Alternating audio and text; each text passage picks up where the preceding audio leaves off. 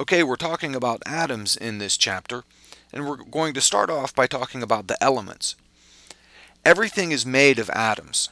Stars are made of atoms, the earth is made of atoms, a slice of pizza is made of atoms, you are made of atoms, everything in the natural world is made of atoms, and they're really, really tiny, but they're sometimes called the building blocks of matter because all matter is made up of atoms.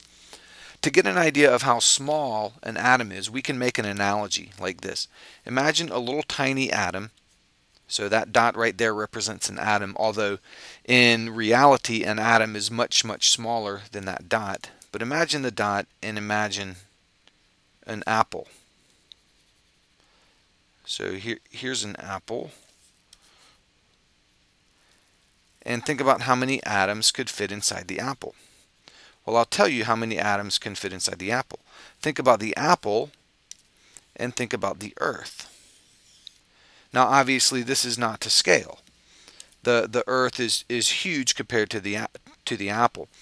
But think about how many apples could actually fit inside the earth.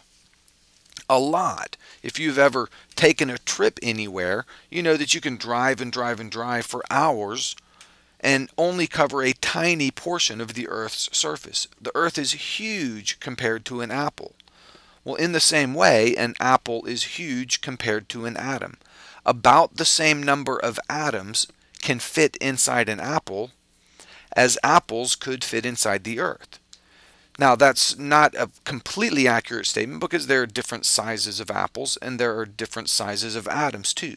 But that is roughly a correct analogy. Approximately the same number of atoms could fit inside an apple as apples could fit inside the earth. So that gives you an idea, hopefully, of how small they are.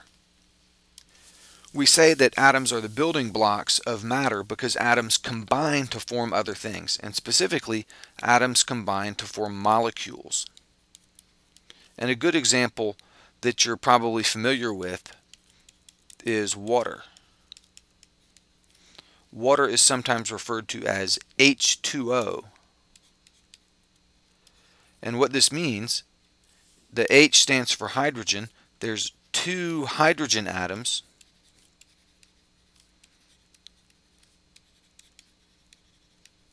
And the O stands for oxygen. There's one oxygen atom.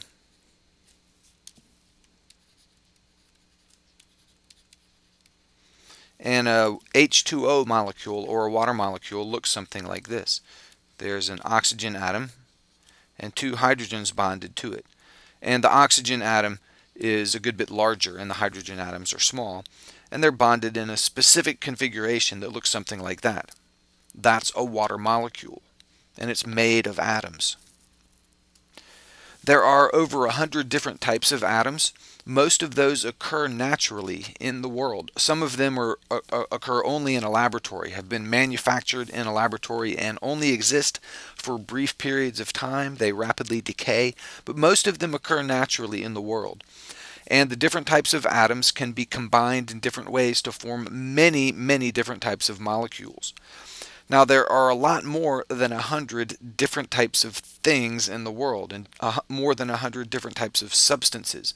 And you might wonder how a relatively small number of atoms can be combined to form so many different things.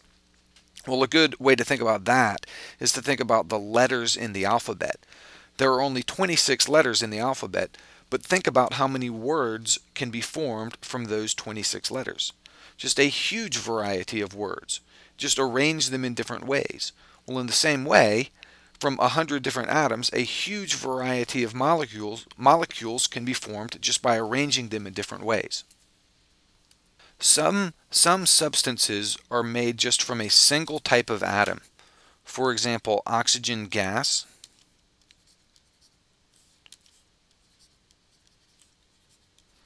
Oxygen gas is made of oxygen molecules and an oxygen molecule is two oxygen atoms bonded together. So each of these things that I'm drawing would be called O2, and that stands for two oxygen. Two oxygen molecules bonded together, or, or excuse me, two oxygen atoms bonded together form an oxygen molecule. and a bunch of oxygen molecules together form oxygen gas. Oxygen is obviously part of the atmosphere, along with nitrogen and carbon dioxide and other things. And oxygen is important for us to live. Uh, and oxygen gas is exactly that O2, two oxygen atoms. But there's nothing else. There's no, um, in, in pure oxygen gas, there's only oxygen. It's a single element. Graphite is another example. Graphite is pure carbon. Carbon atoms arranged in a particular way and I'll draw them like this. And they're arranged in this specific structure where they're packed in real close together.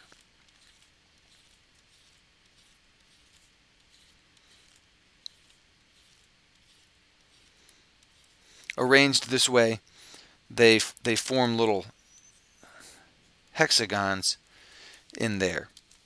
And, and graphite isn't really white like that. Graphite's actually kind of black or gray. Uh, graphite is used in pencils where they used to they used to call it pencil lead because the part of the pencil that makes the mark on the page it actually used to be lead. Uh, lead though is a, a, harmful substance. It accumulates in your body, and if enough of it accumulates, you, you, get lead poisoning. So they switched from using lead to using graphite. But that's what they make pencil lead with, although it's not really lead anymore. Another example of an element would be gold. Gold, as you know, very expensive, very valuable. And gold atoms in a piece of gold are arranged a little bit differently.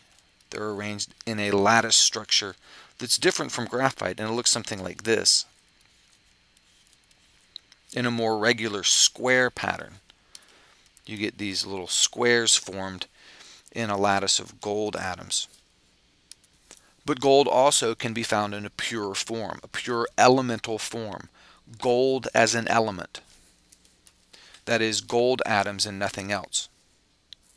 But those are just some examples of some pure elements that we find in the real world.